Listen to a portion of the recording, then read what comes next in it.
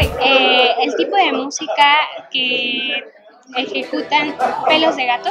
Mira, Pelos de Gato se conformó para como hacer un rescate de música desde finales del siglo, XIX a como hasta los años 40, 50. Entonces abarca boleros, cuplés, este, foxtrot, swings, eh, pues sí, todo ese tipo de músicas que apareció mucho en el cine mexicano y en el teatro de carpa y en el teatro de, revista y en el teatro de ópera que se estaba dando mucho a finales del siglo XIX.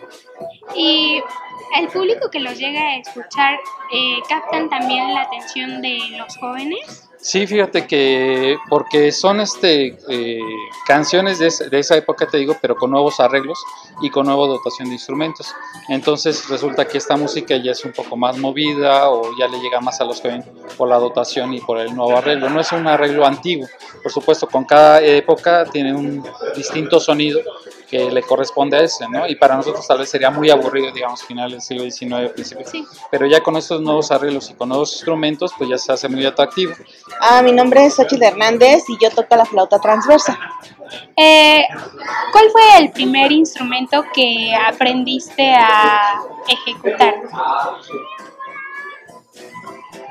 Creo que fue el saxofón soprano. Ok. ¿Tiene, ¿Tenías algún juguete favorito en tu infancia? Sí, las canicas. Y, por ejemplo, ahora tienes alguna colección, algo que te guste tener, o sea, coleccionar ¿En cuestión de juguetes o de cualquier cosa? de cualquier cosa. Mm, No, en realidad no tengo nada así este, de cosas para coleccionar. Mm, déjame ver. Ah, sí, es cierto, de hecho, canicas. de hecho, Ah, sí, sí, tengo un bote muy grandote así de, de canicas de O sea, de diversos tamaños. colores, de las que tienen, les llaman ojo de tigre. Y Sí. tengo muchas de esas. Sí, sí, sí. Ok. Muchas gracias. Gracias también, hasta luego. Mi nombre es José Luis Guzmán, eh, mejor conocido como Joy, y toco eh, las percusiones, la batería, el lavadero, lo que me pongan prácticamente. ¿Por qué te apodan Joy? pues se supone que es como el diminutivo de Joseph, ¿no? Y como soy José, entonces por eso me dicen Joy. Ok, perfecto. Eh, ¿Cuál fue el primer instrumento eh, que aprendiste a ejecutar? Aprendí a tocar la batería alrededor de los 13 años, sí, por ahí de los 13 años, que me la regaló mi hermana. Y fue de manera autodidacta, ¿no? Yo escuchaba discos y como que me los orejeaba y era lo que iba y tocaba. Ok. Y bueno, en tu infancia, ¿tuviste algún juguete favorito?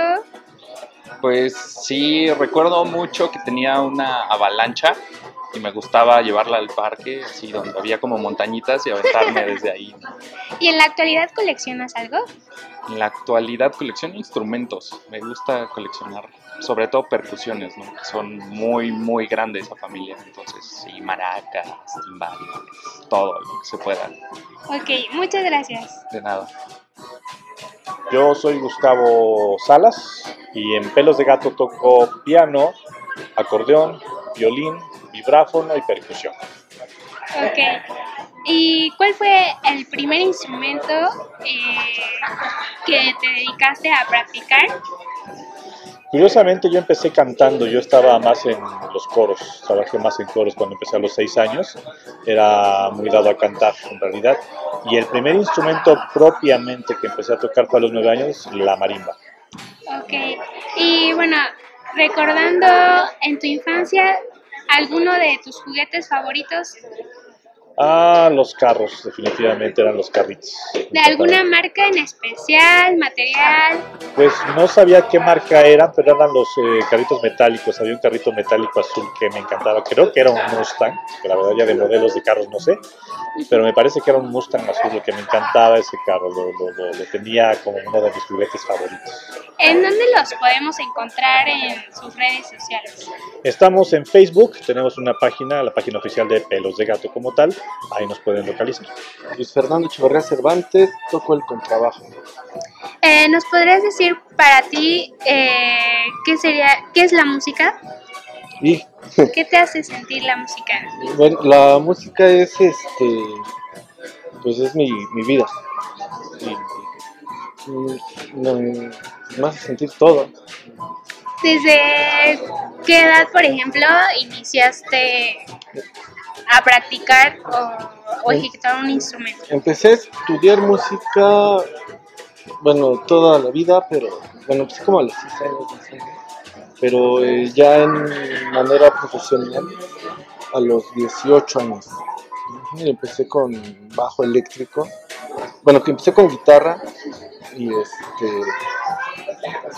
después a bajo eléctrico y llegué al contrabajo de manera accidental porque en realidad buscaba, yo quería tocar otro tipo de música, otro tipo de bajo eléctrico, no hay escuelas, entonces lo único que me quedó en mi escuela profesional fue. Ok.